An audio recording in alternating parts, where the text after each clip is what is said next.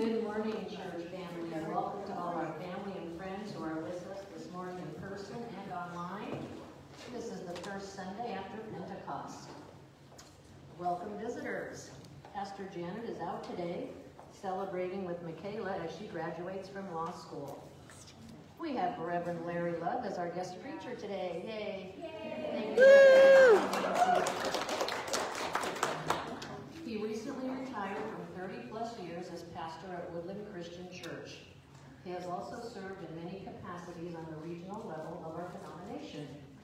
He served our congregation in the early 1980s, where he met and married Nancy Martin, daughter of Ellis and Gloria Martin. Let us listen to the prelude as we prepare to worship today.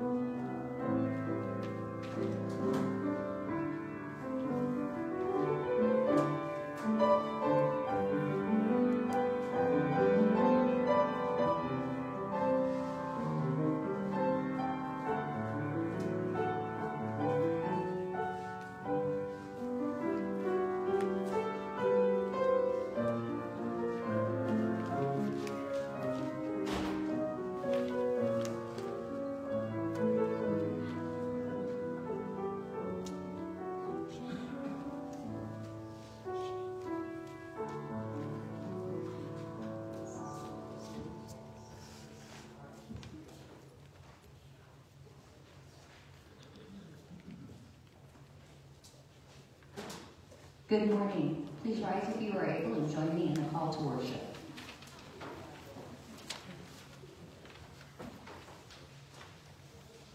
The breath of God lives among us, blowing life into us all. The breath of God moves within us, making us shine with the channels of God's love. The breath of God moves through us, empowering us to proclaim good news to all people. As we gather to worship, we open ourselves up to the breath of the living God, made known to us in Christ Jesus. May our hearts be set on fire with grace and mercy to the glory of God. Please open your chalice praise to number 39, Shine, Jesus, Shine.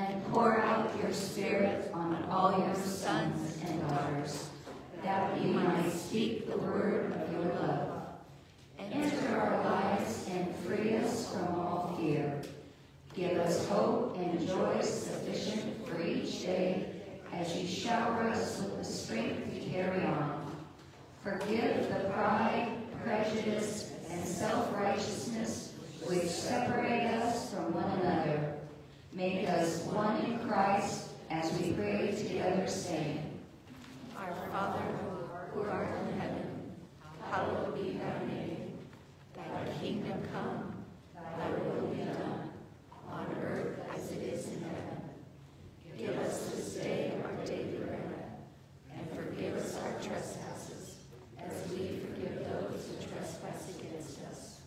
And lead us not into temptation, but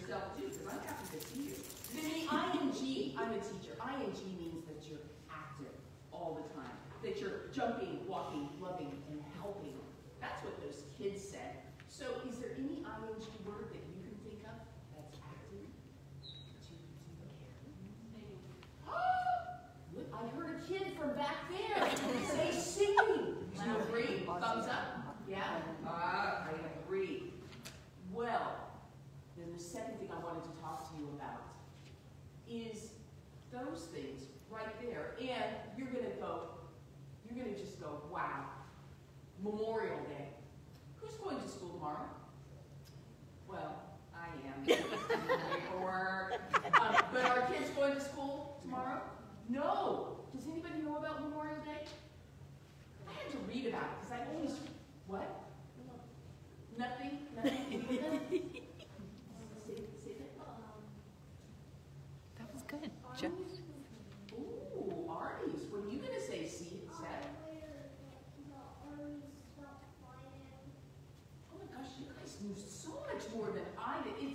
It's, it's to celebrate, it's a remembering um, those people that were in the armed services and, and they fought, so that's what it is. I always thought it was just to remember those people. So I looked it up this morning, and it can actually be both. Those people that were in the, that were in the armed services, um, in the military, or just somebody that you want to remember. Although you could remember somebody that's not here any day. But there is one person, and this is where the strawberries come in, that I want to remember. He was a soldier once upon a time because he told me a story about being a soldier. Um, he told me that at the end of the war, they just kind of let all these soldiers just had to find their way home and walk home. And he walked a long way home. The other thing that I really want to remember him is um, he taught me about what to do with money, and he also he tried to teach me how to play chess. Does anybody here play chess? Oh, I might have to take lessons from you. I, I, I didn't ever do that, and um, and I do have. Uh, he didn't really teach me about um, buckwheat uh, pancakes, but I have a recipe of his, and that is Pastor Ellis Martin. And one of the things that there are two things that I really remember about him. He loved plants. So today we're going to be planting these strawberries, and don't tell anybody because I didn't ask permission. Is that okay? So we're going to be planting these strawberries to remember Ellis Martin. Yes. No, I'm not. I'm not. But some people are. So you keep that. Okay. Keep those right there because some people there might be kids over here that are afraid of spiders, or maybe right here.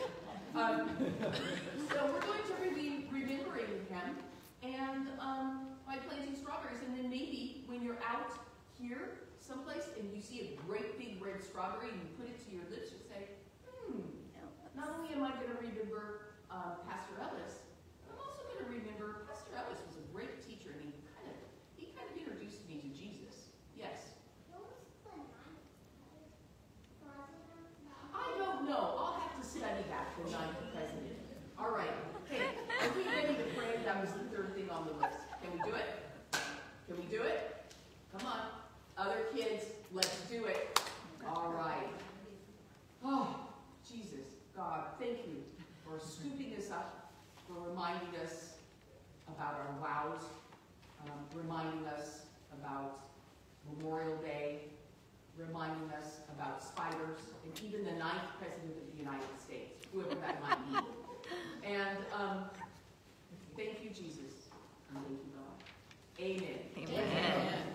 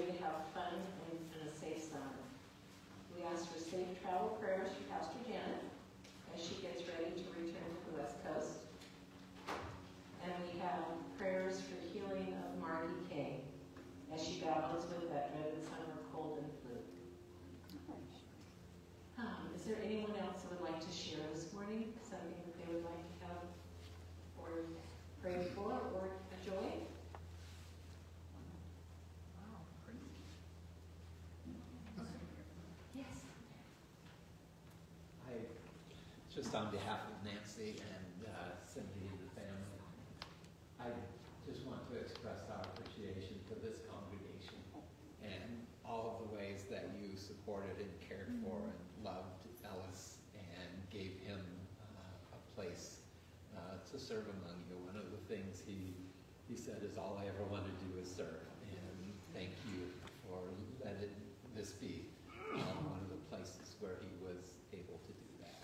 Thank you. Thank you so much. We appreciate him so much. He was such a blessing to all of us. Yes, Ron?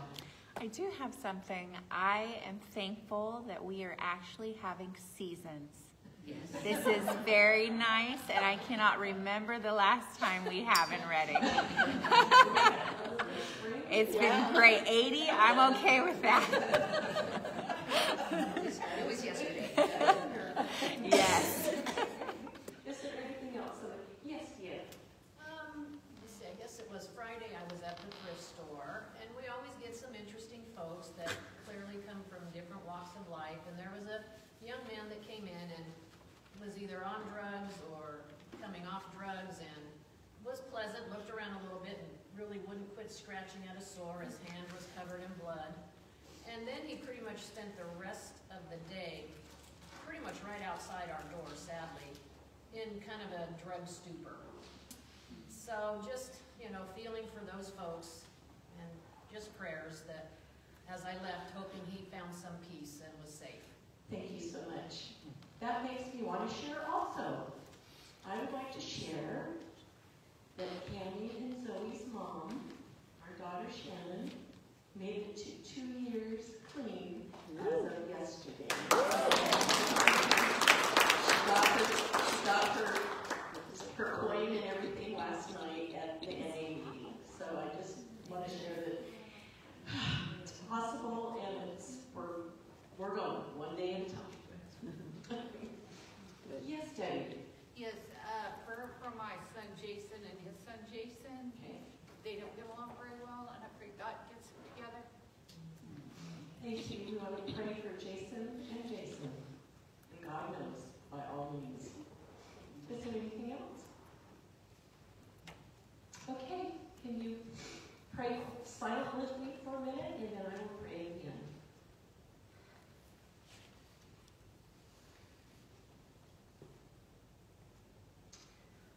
Dear Heavenly Father, we want to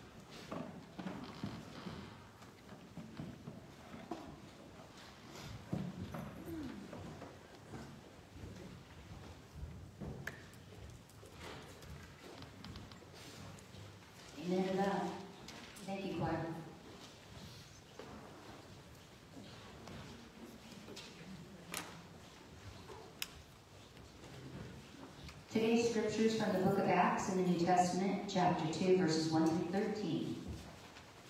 When the day of Pentecost had come, they were all together in one place. And suddenly from heaven there came a sound like the rush of a violent wind, and it filled the entire house where they were sitting. Divided tongues as of fire appeared among them, and a tongue rested on each of them. All of them were filled with the Holy Spirit and began to speak in other languages as the Spirit gave them ability. Now there were devout Jews from every nation under heaven living in Jerusalem. And at this sound the crowd gathered and was bewildered, because each one heard them speaking in the native language of each. Amazed and astonished, they asked, Are not all these who are speaking Galileans? And how is it that we hear, each of us, in our own native language?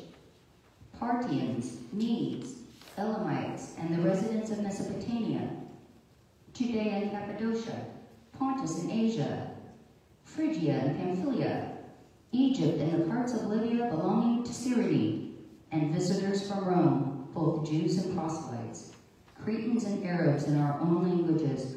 We hear them speaking about God's deeds of power. All were amazed and perplexed, saying to one another, What does this mean? But others sneered and said, They are filled with new wine.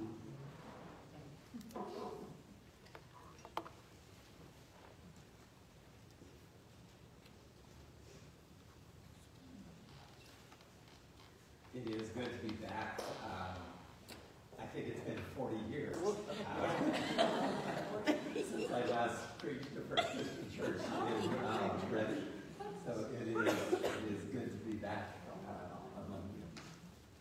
I am uh, continuing. Let me know, I'm going to read this scripture, and you let me know if you can't hear me, and I'll figure out how to use the microphone. She can't hear you. You can't? Okay. I am going to read. this,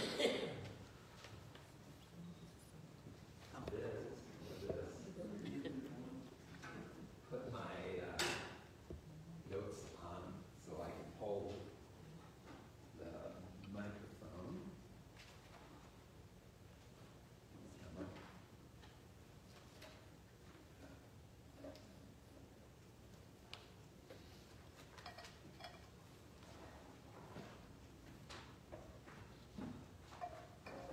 And then is this on? I think you might get it. Okay.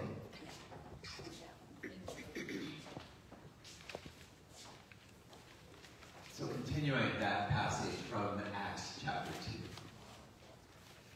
But Peter, standing with the eleven, raised his voice and addressed them. Men of Judea, and all who live in Jerusalem, let this be known to you and listen to what I say. Indeed, these are not drunk, as you suppose, for it is only nine o'clock in the morning. No, this is what was spoken through the prophet Joel. In the last days it will be, God declares, that I will pour out my spirit upon all flesh, and your sons and your daughters shall prophesy, and your young men shall see visions, and your old men shall dream dreams. Even upon my slaves, both men and women, in those days I will pour out my spirit, and they shall prophesy. This is the message of God for the people of God. Thanks be to God. Let us pray. Spirit of the living God, fall afresh upon each and every one of us as we gather this day. And as your spirit comes, may the words of my mouth and meditations of all of our hearts be acceptable in your sight, O God, our rock and our redeemer. Amen. It's an ancient story from the book of Exodus. God uses Moses to bring the people of Israel out of slavery in Egypt. They are out of slavery, they are headed for the promised land, but they're in the wilderness. And the people are not happy campers. And Moses is exhausted, dealing with their problems, listening to all of their complaints. And the problem is the journey has just begun. So to help him out, God devises a plan. Moses and the people choose 70 men who are recognized leaders from among the people. And God will take some of the Spirit of God that rests upon Moses and put it upon these 70 so that they can be inspired with enough wisdom and insight to help with the leadership of the people. However, this parceling out of the Spirit apparently makes Joshua, who is Moses' right-hand man, uneasy. He's protective of Moses, and he doesn't want uh, anyone else to kind of come in and take away some of power and prestige that Moses has. And so he's uneasy with this thing. Doesn't want anybody to come along and challenge his leadership.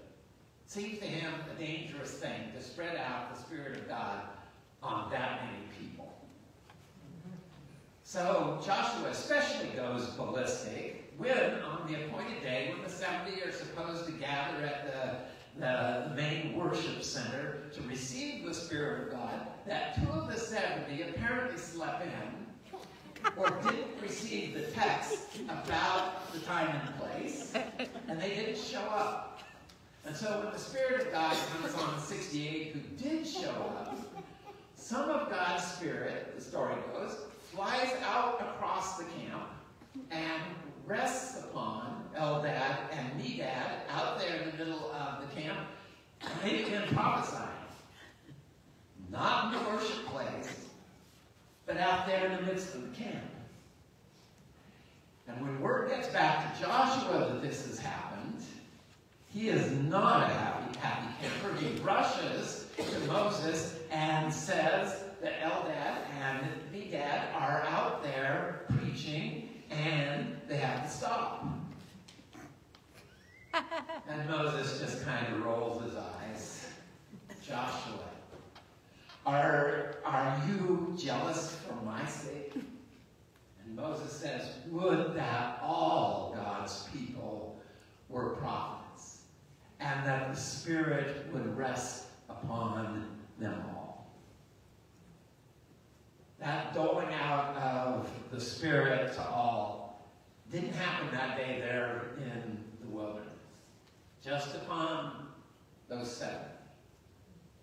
But it does on the day that we celebrated last week, I'm making us continue to celebrate this week, the day of Pentecost, which came centuries after that story. The day described in Acts chapter 2, the passage that we just read. And one of the incredible things about that is everybody gets the Spirit of God. Now, I understand on last Sunday, Janet uh, talked about, as her Pentecost scripture, a passage from the Gospel of John. And we probably resonate a bit more with John's version of the Spirit of God coming into our lives because it talks about the Spirit coming as the comforter, the advocate for us, and we all sort of kind of need a comforter a lot of times in our lives. This Acts 2 passage is something of the Wild West version of Pentecost. And in this wild and yet wonderful version, everybody gets this wild and wonderful gift of God's Spirit. And notice how many ways there are in this Acts 2 passage that says that.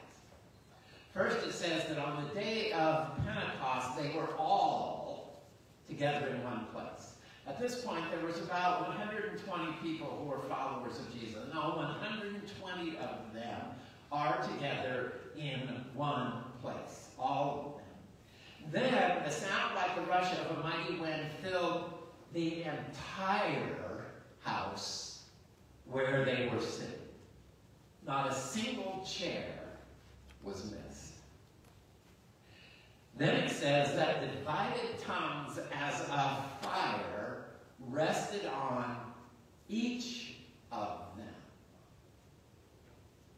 And all of them were filled with the Holy Spirit.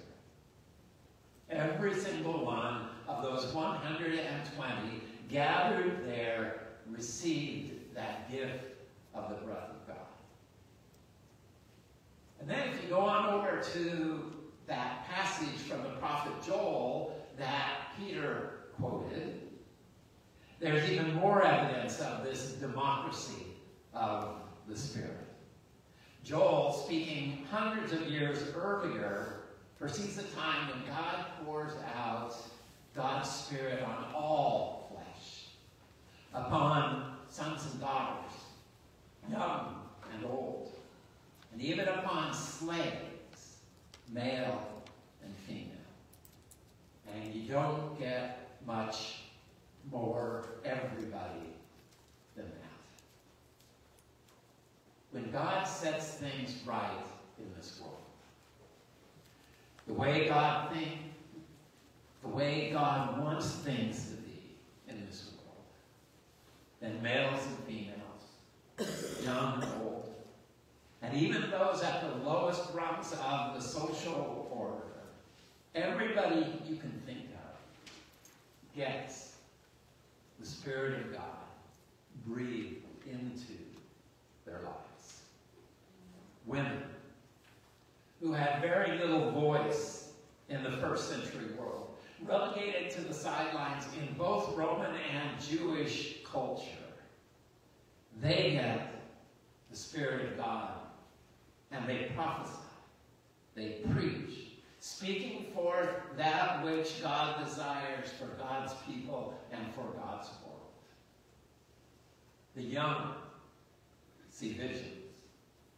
The young who were and sometimes still are encouraged to be silent because they aren't thought to have enough life experience that they really have much of anything wisdom-wise to share with the rest of us. Because of the Spirit, these young see visions of what can be and are urged to share it and to call the church toward that vision. The old dream dreams. Because of the Spirit, the old, who don't have much future left because their life is moving toward its end, these old dream dreams about the future that God has for God's world.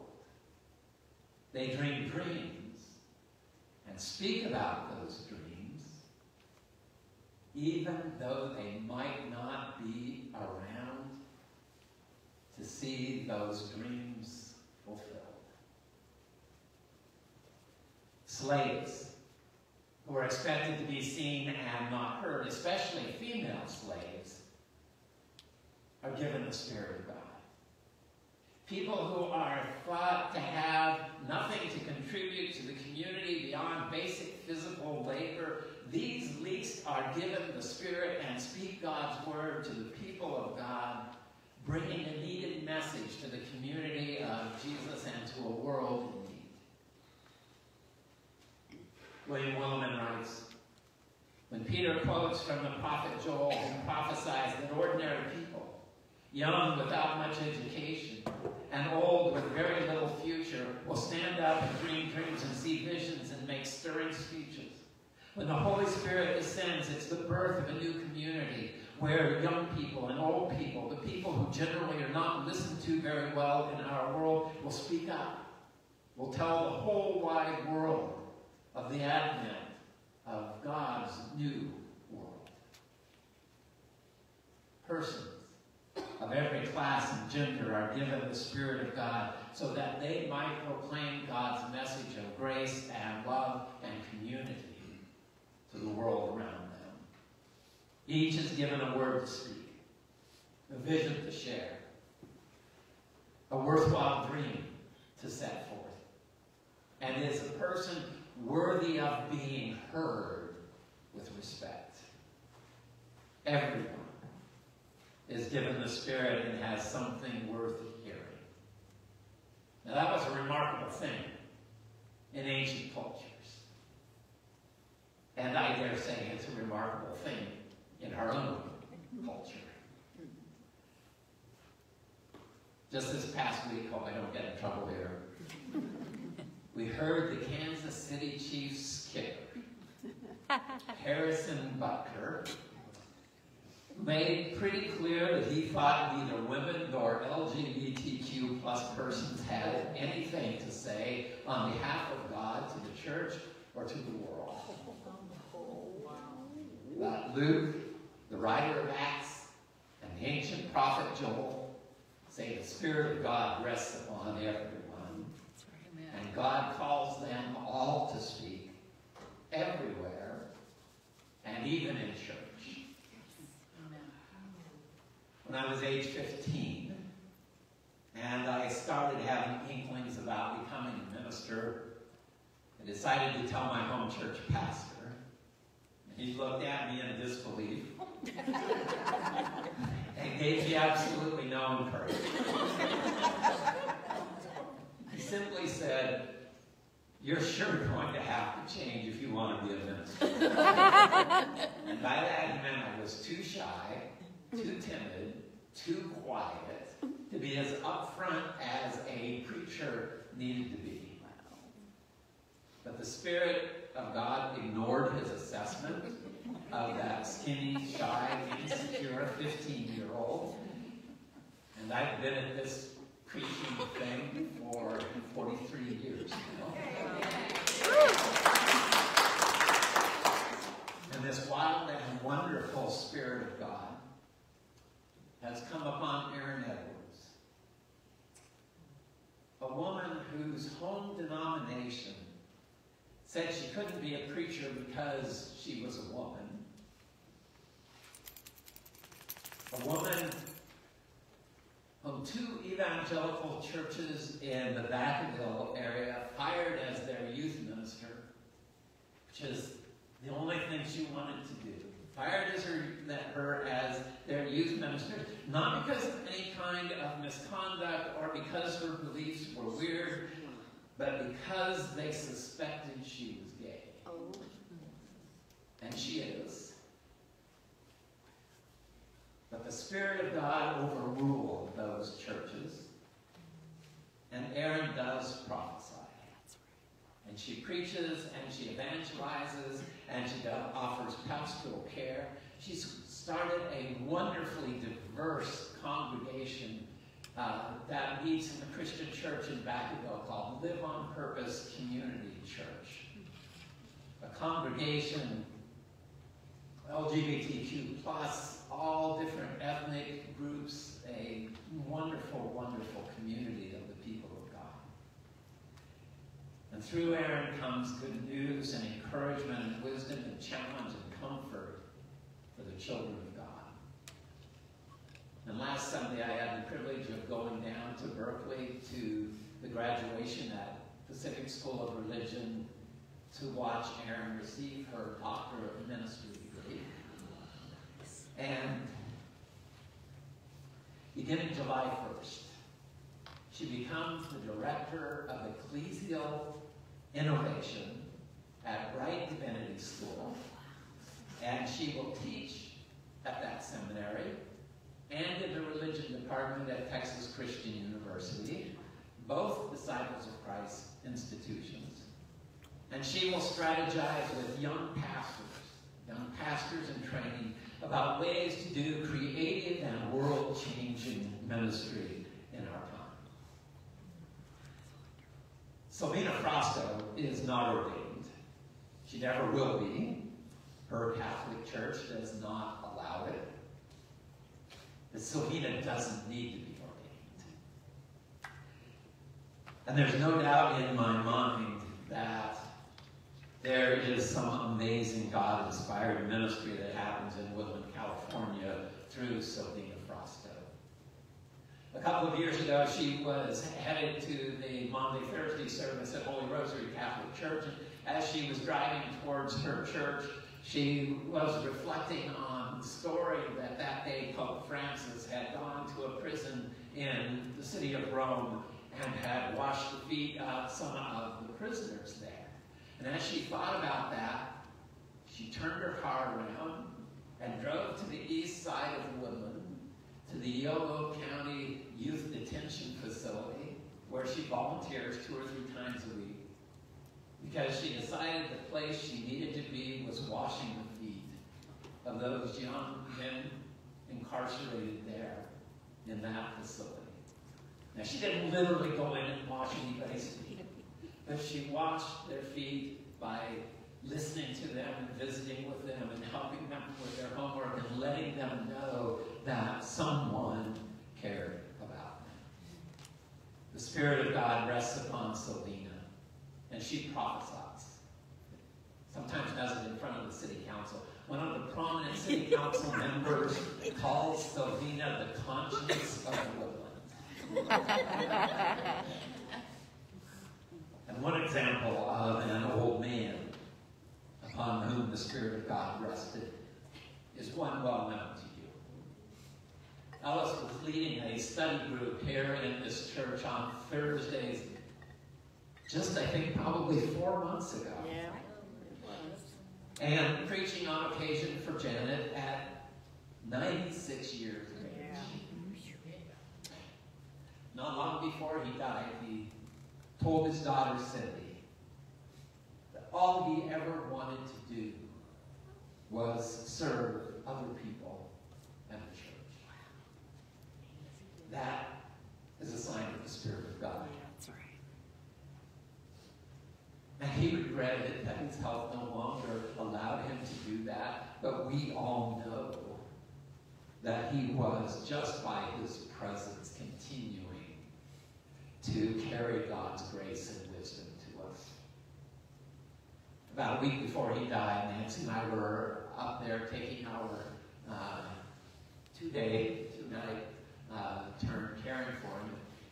I was out in the backyard. I don't know if you know the whole backyard of Ellis's house and garden. His neighbor calls it uh, a food jungle. Uh, she said, for a food forest, I said food jungle. and I was out there working. Nancy came out and said, uh, Dad wants to talk to you.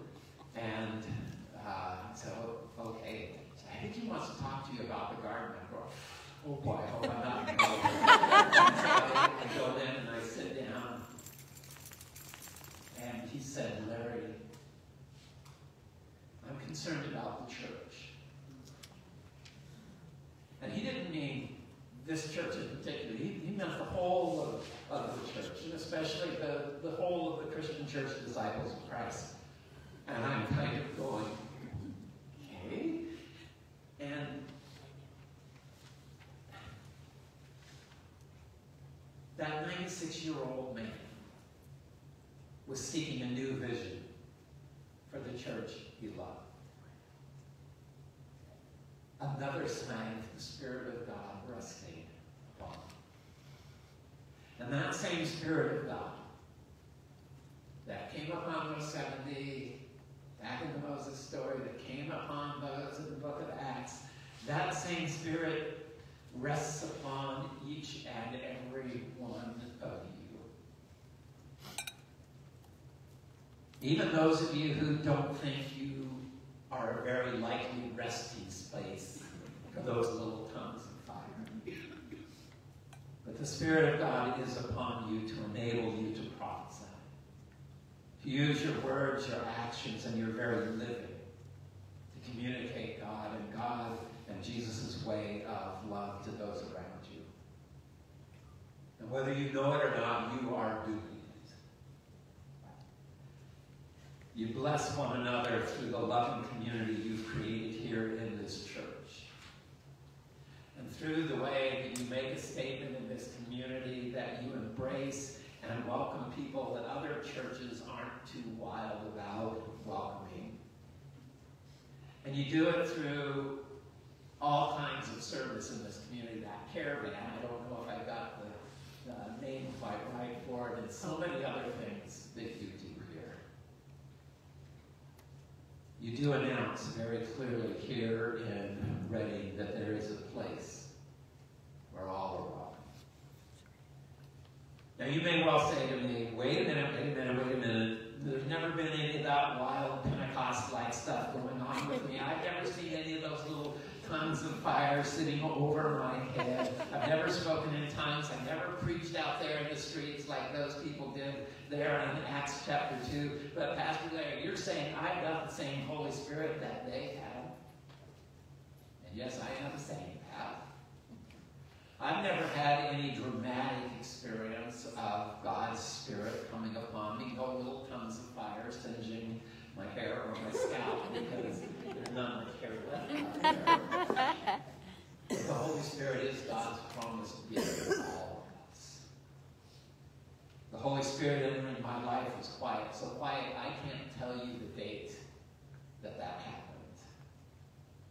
My experience was more like that quiet Pentecost in John chapter 20, where the risen Jesus appears to his disciples there in that upper room, and he says, Peace be with you. As the Father has sent me, so I send you. And then it says that he breathed on them and said, Receive the Holy Spirit. And apparently that happened without any loud rushing wind or little flames over anybody's. Reality is the wild and wonderful spirit that fell on Pentecost in the second chapter of Acts. That same spirit is upon us and within us, each of us, and all of us together, to bring about amazing and beautiful things in our world right now. So look around you. See the flames over the heads of your siblings worshiping here with you today? You see them? Neither do I. but Joshua was uneasy about it. As are some modern day Christians, Moses wanted all God's people, men and women, gay, straight, young, old, rich, poor, PhDs, and high school dropouts, to have the Spirit of God resting upon them and stirring within them. And now it's happening and it's happening. And we prophesy. Through our words and actions, we help make God's dream for this world come true. Thanks be to God that all God's people have the Spirit upon them. We do thank you, good and gracious God, that you have touched each and every one of us with your Spirit, carrying your love and your comfort and your grace to us, and enabling us to use our voices and our lives share your message of love with your children in this world. Persons who desperately need to hear that good news message from you. We thank you, God, in Jesus' name. Amen. Our hymn is number 249, and I think it's verses 1, 3, and 4. How we sing together. Spirit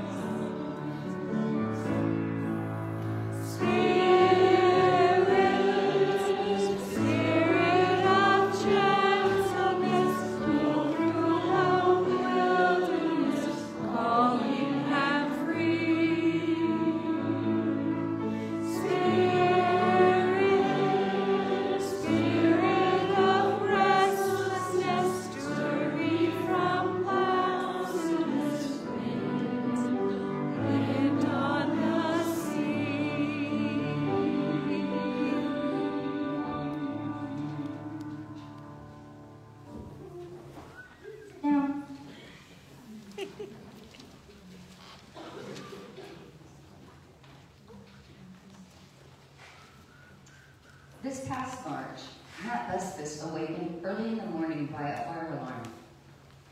Finding no fire, he was unable to sleep, so he left to get a cup of coffee at the local cafe. Dressed in casual attire with a backwards ball cap, Matt entered the cafe and realized that he had forgotten to pray that morning.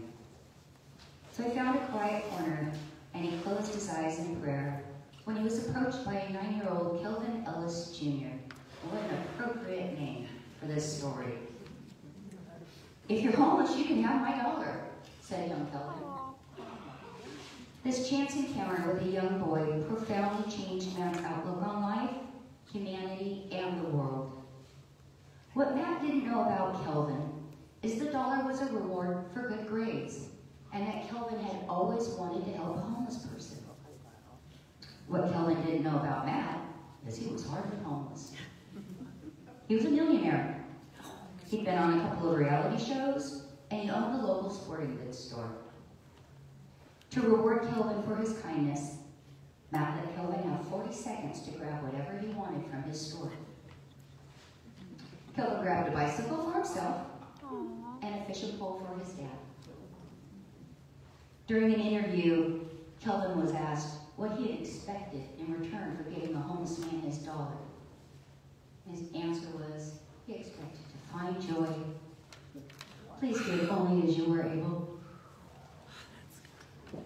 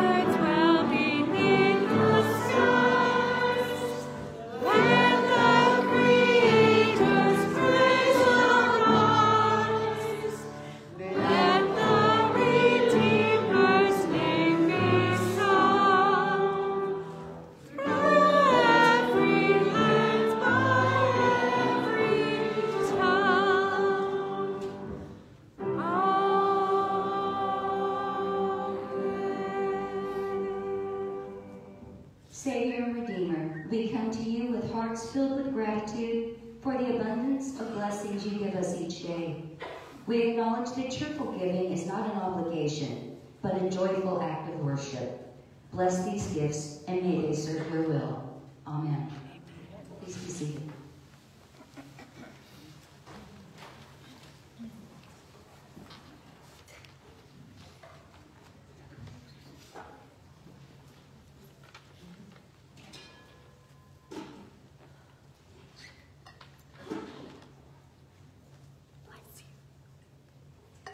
We come to the table this Memorial Day weekend, the first Sunday after Pentecost. Greater love hath no man than this, that a man lay down his life for his friends. That is from the Gospel of John, chapter 15, verse 13, which is what Jesus did. He laid down his life for his friends, for his enemies, and for total strangers. On the night of Jesus' betrayal and arrest, as he shared a meal with his friends, Jesus took bread and gave thanks, broke it and gave it to his followers, saying, Share this bread among you. This is my body, which will be broken for justice. Do this to remember me. When supper was over, he took the cup, gave thanks, and gave it to his disciples, saying, Share this cup among you. This is my blood, which will be shed for liberation. Do this to remember me. When we eat When we eat this bread and drink from this cup, we experience again the presence of Jesus in our midst. Please pray with me. Savior, we give thanks for your sacrifice for our sins so that we may have eternal life. Bless this bread and cup. May it nourish our souls. Lord, we ask for your divine comfort for those who have lost a loved one to war. We pray for the souls of those who gave their lives so that we may worship in freedom this day. Amen.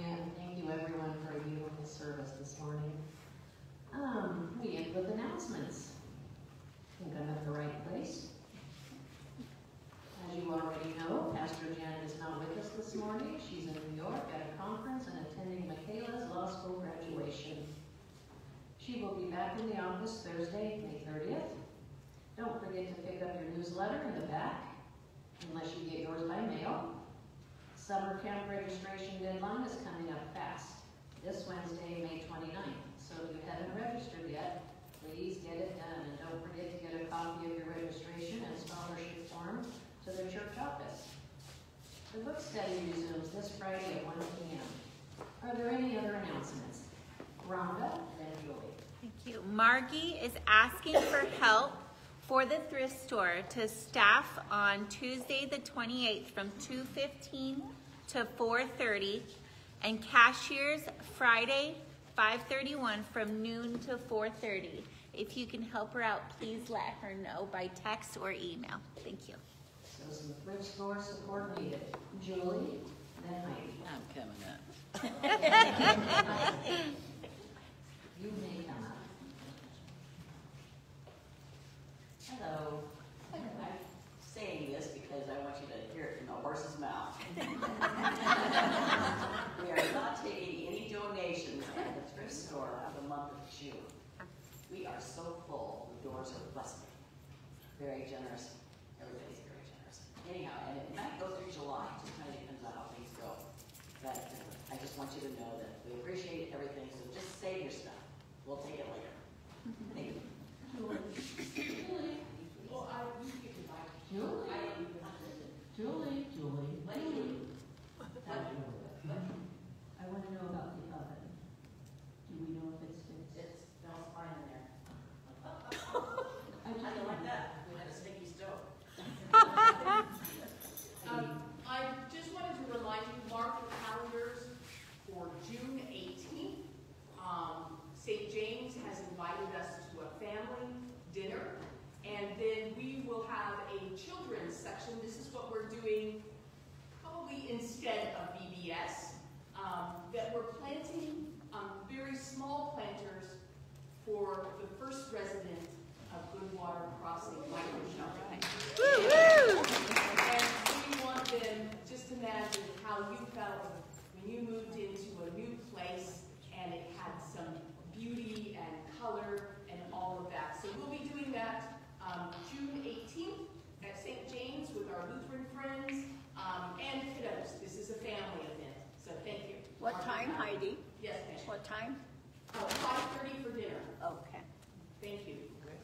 I do have one other one. Hope Van was in the news with some problems this week.